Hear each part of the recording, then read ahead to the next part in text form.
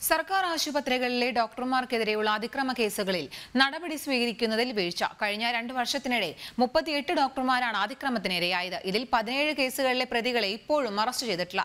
കേസുകളുടെ വിചാരണയും പൂർത്തിയായിട്ടില്ല. സംസ്ഥാനത്ത് കഴിഞ്ഞ രണ്ടു വർഷത്തിനിടെ ഡോക്ടർമാർക്ക് നേരെയുള്ള അതിക്രമത്തിന് മുപ്പത്തിയെട്ട് കേസുകളാണ് രജിസ്റ്റർ ചെയ്തത്. ഇതിൽ ആശുപത്രി സംരക്ഷണ നിയമപ്രകാരം എടുത്തത് മുപ്പത്തിരണ്ട് കേസുകൾ. എന്നാൽ അറസ്റ്റ് ചെയ്തത് ഇരുപത്തിയൊന്ന് പേരെ മാത്രം.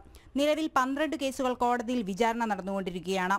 രണ്ടു കേസുകൾ ഒത്തുതീർപ്പാക്കി. ഏഴു കേസുകളിൽ പ്രതികൾക്ക് ജാമ്യം ലഭിച്ചു. രണ്ടായിരത്തി പന്ത്രണ്ടിൽ നിയമം നിലവിൽ വന്നെങ്കിലും ഒരാൾ പോലും ശിക്ഷിക്കപ്പെട്ടിട്ടില്ല.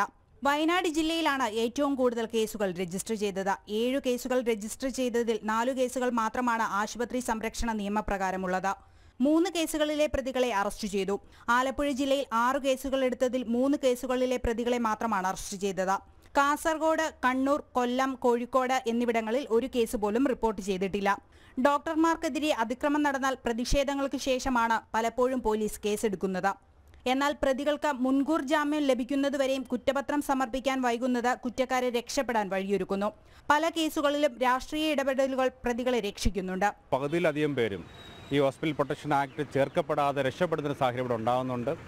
അത് ചേർക്കപ്പെട്ടാൽ പോലും വളരെ നിസ്സാരമായിട്ട് തന്നെ കേസിൽ മുമ്പോട്ട് പോവുകയും അവർ രക്ഷപ്പെടുന്ന സാഹചര്യം ഉണ്ടാകുന്ന സാഹചര്യം ഇവിടെ ഉണ്ടായിട്ടുണ്ട്. പലരെ അറസ്റ്റ് ചെയ്യപ്പെടുന്നില്ല.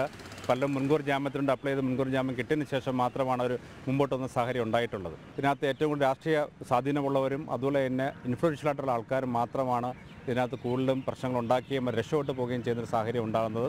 ആശുപത്രി സംരക്ഷണ നിയമപ്രകാരം കേസുകൾ എടുക്കുന്നത് പ്രഹസനമാകുകയാണ്. അഥവാ കേസുകൾ രജിസ്റ്റർ ചെയ്യുകയാണെങ്കിൽ തന്നെ വിചാരണ കാലങ്ങളോളം നീളും. കേസുകൾ നിശ്ചിത സമയപരിധിക്കുള്ളിൽ പൂർത്തിയാക്കി പ്രതികൾക്ക് തക്കതായ ശിക്ഷ നൽകിയാൽ ഇത്തരത്തിലുള്ള അതിക്രമങ്ങളെ ഒരു പരിധിവരെ തടയാനാകുമെന്ന് ഡോക്ടർമാർ അഭിപ്രായപ്പെടുന്നു. സർക്കാർ ആശുപത്രികളിലെ സൗകര്യങ്ങളുടെ അപര്യാപ്തത സാധാരണ ജനങ്ങളെ ഡോക്ടർമാരെ കയ്യേറ്റം ചെയ്യുന്നതിലേക്ക് എത്തിക്കുന്നുണ്ട്. ഡോക്ടർമാരെ കയ്യേറ്റം ചെയ്യരുതെന്ന പൊതുജനങ്ങൾക്കിടയിൽ ബോധവൽക്കരണം നടത്തുന്നതിനുള്ള നടപടികൾ ഉടൻ ആരംഭിക്കുമെന്ന ആരോഗ്യമന്ത്രിയുടെ വാക്കും പാഴ്വാക്കായിരിക്കുകയാണ്. ജനം തിരുവനന്തപുരം.